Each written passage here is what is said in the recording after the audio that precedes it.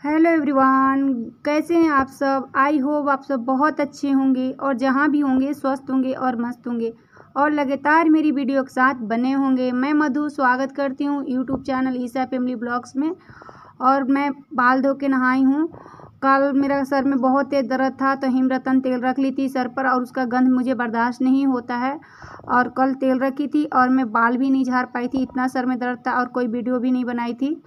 तो अभी मैं अपना बाल को अच्छे से टावल से पोछ कर उसके बाद बेडरूम में आई हूँ। यहाँ पर मैं सीरम थोड़ा सा लगा लेती हूँ क्योंकि काल भी बाल नहीं झा रही थी और जो तेल रखी थी ना तेल रख के हस्बैंड थोड़ा सा मिला दिए थे तो पूरा बाल उलझ गया था और अभी मैं थोड़ा सा सीरम लगा कर बाल को अच्छे से झाड़ ली हूँ, झाड़ के क्लचर लगा दी थी और ये कल मशीन में कपड़ा मेरे हस्बैंड डाल दिए थे। मेरा सर में दर्द था तो इतना ही कपड़ा था वो मशीन में डाल दिए थे और ज़्यादातर तो मैं हाथ से ही धो देती हूँ। तो इस कपड़े को अच्छे से फोल्ड कर लूँगी और फोल्ड करने के बाद में अभी लंच की जाऊँगी, तैयारी करने। अभी लंच बनाना है, मॉर्निंग का सभी ब्रेकफास्ट कर लिए हैं। बच्चे लोग भी, हम भी और हस्बैंड भी ऑफ़िस चले गए आज मुझे थोड़ा सा ठीक लग रहा है, बाकी इतना अच्छा नहीं लग रहा है। अभी बाल धो के नहाई हूँ ना तो थोड़ा ठंडा लग रहा है। इधर मौसम थोड़ा ख़राब है, इतना तेज़ धूप नहीं उगा है, बादल जैसा है और इतना आज गर्मी भी नहीं लग रहा है अच्छा है। और कर्नाटक में जल्दी मतलब समर चेंज हो जाता है और ना तो ज़्यादा गर्मी रहता है, ना तो ज़्यादा ठंडी रहती है। यहाँ पर ज़्यादा बरसात ज़्यादा होता है तो लग रहा है ना कि फिर मौसम चेंज कर दिया है, बारिश होगा शाम तक। अभी चावल चढ़ाई हूँ। गैस पर तो चावल बन रहा है और दाल और सब्ज़ी बन गया है और चावल बन जाएगा तो बच्चे लोग को खाना दूँगी और वो लोग खा लेंगे तो फिर मैं भी खाना खा लूँगी।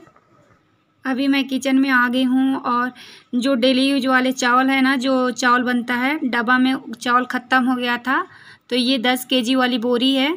तो अभी जब रिलायंस गए थे ना तो दस के जी चावल के बोरी लाए थे और दस के जी आटा के।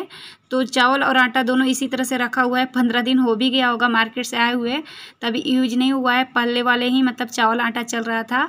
तो जैसे मैं एक बार में एक मंथ, डेढ़ मंथ के सामान ऐसा लाती हूँ ना कि मंथ से ज़्यादा दिन चले जाए तो फिर मतलब इसी तरह से चलता है।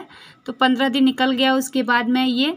चावल के बोरी खोल रही हूँ तो कैंची से काट दूँगी और काटने के बाद मैं डाबा में भर दूँगी। और मेरे घर में ना चावल के बहुत कम यूज़ है। आटा के ज़्यादा यूज़ होता है। आटा दस ग्यारह के जी लग जाता है मंथ में।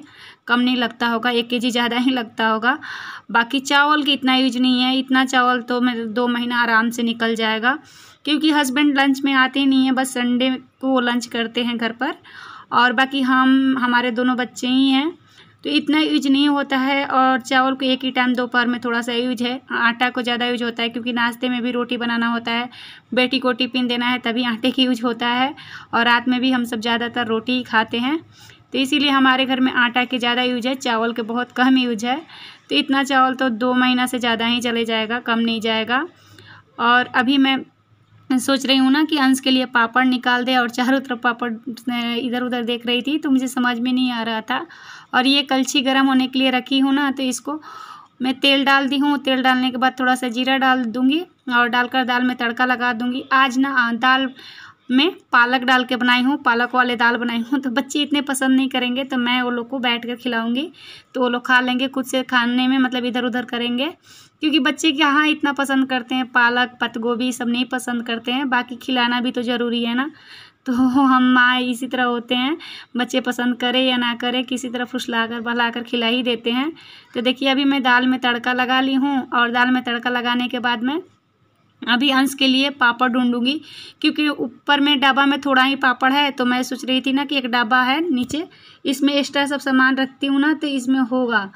तो मैं चारों तरफ़ मतलब पापड़ ढूंढ रही थी, मुझे कहीं नहीं मिला, थोड़ा सा जो डब्बा में पापड़ था, वही मैं पापड़ छानी हूँ।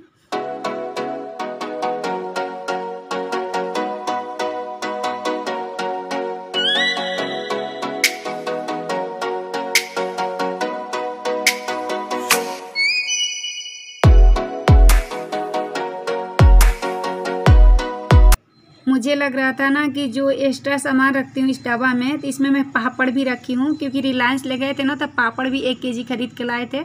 बाकी ना पापड़ सब छान के यूज़ हो गया है, पापड़ नहीं था, थोड़ा सा ही डब्बा में था, वही तलूँगी। मैं ये कब से सोच रही थी कि इस प्लास्टिक में पापड़ ही रखा हुआ है, बाकी इसमें पापड़ नहीं है, भुना हुआ चना दाल है। तो मैं अभी जो थोड़ा सा पापड़ है ना डब्बा में, वही पापड़ तल लूँगी। और हस्बैंड भी ना जैसे रात में आते हैं और उनको खाने का मन करता है ना तो हम सब सोए रहते हैं तो अपना पापड़ तल के खा लेते हैं। हल्का फुल्का भूख लगा रहता है तो। तो मैं कब से सोच रही थी कि इस डब्बा में ज़्यादा पापड़ रखा हुआ है, एक भी पापड़ नहीं था। इस डब्बा में थोड़ा सा यही छोटा सा डब्बा में पापड़ है तो मैं अंश और सिया के लिए तल लूँगी।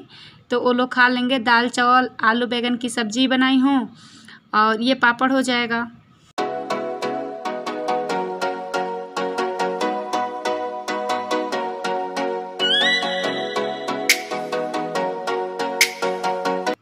पापड़ तलने के बाद मैं दोनों बच्चे को खाना निकाल के खिला दी हूँ। ये अपने लिए खाना निकाली हूँ। चावल, एक रोटी है, आलू, बैगन की सब्ज़ी है, पालक वाले दाल है, पापड़ है। ये देखिए, पालक वाले दाल बनाई हूँ ना। इसका कलर थोड़ा चेंज हो जाता है पालक डालने से तो बिल्कुल हरा दिख रहा है। इसीलिए दोनों बच्चे खाने में पसंद नहीं कर रहे थे। बाकी मैं उन लोग को ज़बरदस्ती खिलाई हूँ। तो लोग खा लिए हैं और खाकर टीवी देख रहे हैं और मैं भी यहाँ पर आकर बैठ गई हूँ सोफ़ा पर और सोफ़ा पर खाऊँगी। ये लोग के साथ बातें भी करूँगी टी भी देख लूँगी। और खाना खाकर ना सोच रही हूँ कि ये लोग को सुला दूँगी क्योंकि लंच कर लिए हैं लोग। और अभी मैं बालकोनी में आ गई हूँ, पौधा में पानी डालने तो मैं तुलसी मैया में पानी नहीं डालूँगी और सारे पौधा में पानी डालूँगी क्योंकि ससुराल में ना जैसे बगल में ही गमी हुआ है। तो मम्मी बोली हैं फ़ोन करके सासू माँ कि पूजा वगैरह नहीं होगा अभी दो चार दिन। तो फिर इसीलिए मैं तुलसी माँ को भी नहीं छूँगी और सारे पौधा में पानी डालूँगी। मैं अपने दोनों बच्चे को सुलाने के लिए लाई हूँ तो ये लोग सोएँगे। देखिए, अंश एकदम बिल्कुल लग रहा है ना कि अब सो जाएगा, क्योंकि ये रो भी रहा है। और आज की वीडियो दोस्तों मेरे यहीं तक था। उम्मीद करती हूँ आप सबको पसंद आया होगा। पसंद आया होगा तो लाइक ज़रूर कर दीजिएगा। चैनल पर पहली बार आते हैं तो चैनल को सब्सक्राइब कीजिएगा। और कमेंट बॉक्स में सुझाव ज़रूर दीजिएगा। अंश बाय कर दो। Bye bye